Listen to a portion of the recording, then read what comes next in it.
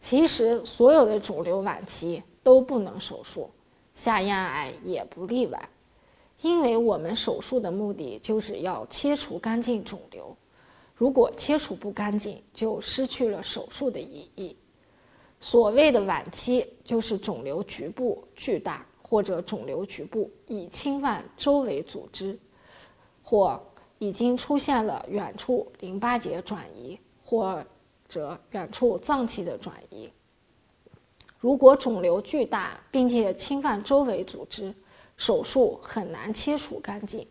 将来术后很快就会有肿瘤的复发，而且生长速度很快。